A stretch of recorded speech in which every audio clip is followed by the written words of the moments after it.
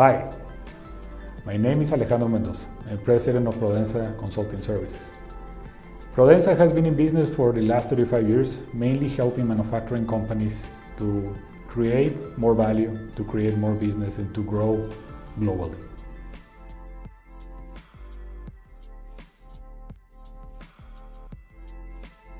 One of the main challenges that we have seen through all these years is business continuity.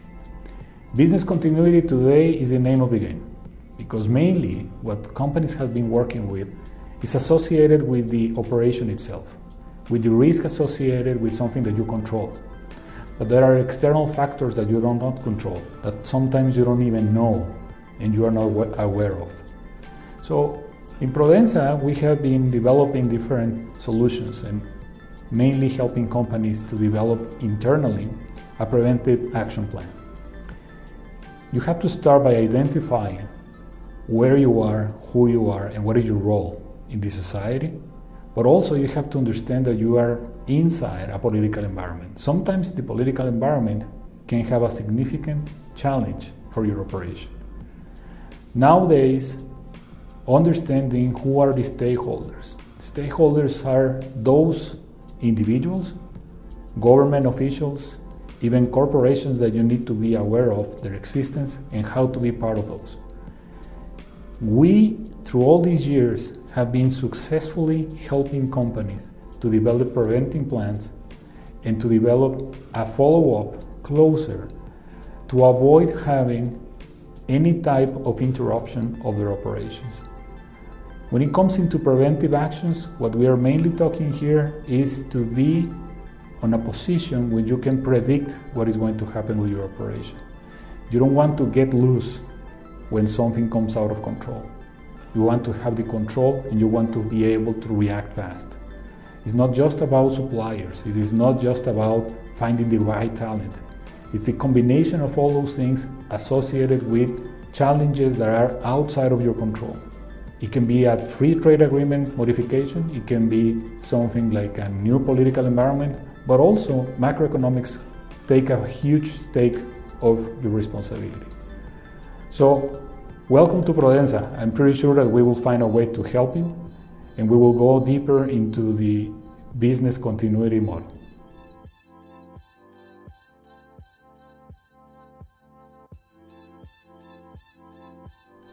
Companies have to be open to get to know their community, to interact with them, and to understand what their community's pains are, what they need. But most important, to understand why their project and their operation is good for them. Reputation matters now more than ever. What the community think of you, what the employees think of you, and what the key stakeholders in your community think of you is very relevant, very important, and will end up affecting or helping your operation in one way or the other. There's several tools and mechanisms in place that you can use to understand what people think of you, what the community's perception is to your project. This is very helpful as it will help you to guide and to get to know what the most the best action is moving forward, especially for business continuity. Your company has to be positioned as a very valuable asset for the community as achieving so will help your company and the community to grow together. The perception will change in a positive way and things will be better for you in the future, especially in business continuity matters. A company with a weak reputation would be an easy target for authorities that will have additional inspections and inquiries, making your operation cumbersome. On the other side, a company with a good reputation will be a company where everybody wants to work and will be set as a good example from the authorities to other companies on how things should be done. Imagine a situation in which a detractor wants to attack you. In which situation do you think that your detractor will prevail? Scenario number one you have no engagement with the community, they don't even know who you are, and your employees don't like you. And scenario number two the community loves you you have a high reputation with the authorities, and your employees are thrilled to work with you. In which situation do you think you would be protected? For business continuity, what people think of you really matters. Entering the market and getting to know all the stakeholders is easier with a partner that is there locally and has a seat at the table and a voice at the conversation.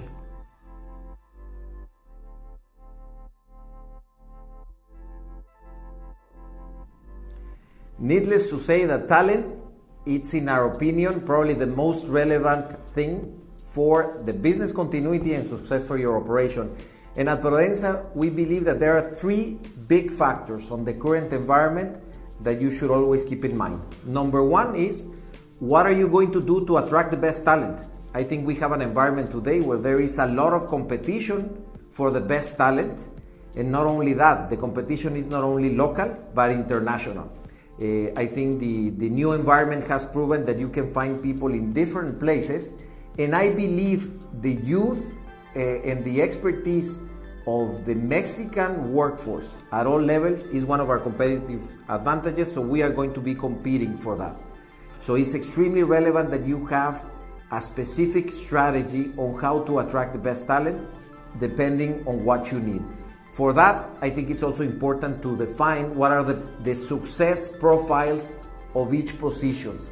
I think uh, we are taking more time on not assuming that the profile we have for a position before is the best profile today. So rethink your profiles and based on that, have a specific strategy, uh, get local knowledge on how to get the best talent. That's number one. Number two is you have to become the best place to work. I think once you have made the effort of attracting the best talent, it's extremely important that you design your operation intentionally, the practice of your operation intentionally to become the best place to work. A few factors that are important to consider, of course, right now, safety. You have to make sure that people feel safe to go to work. So design your protocols, your environment, the relationship that you have with people accordingly. Number two, you have to treat people great. I think this is one uh, fortunate evolution of operations is we have spent more time designing practices that allow people to feel happy. We know that happy people uh, become productive employees. Uh, and number three, you have to make sure that you make your people successful. You have to design the processes, the procedures, and the practices so that people are successful. This is the number one motivator for people is if you're achieving your goals, if you are succeeding, if you are having the possibility to grow. And for that, I will go to the third point that I believe today is extremely relevant. You have uh, to design a strategy to reskill people.